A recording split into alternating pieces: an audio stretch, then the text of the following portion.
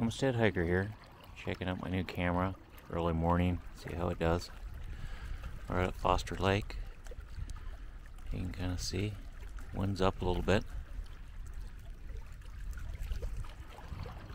Well, seems to do fairly well. We're gonna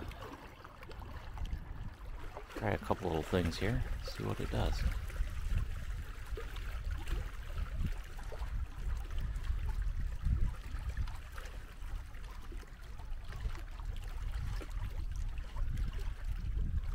Okay, so Homestead Hiker uh, signing off.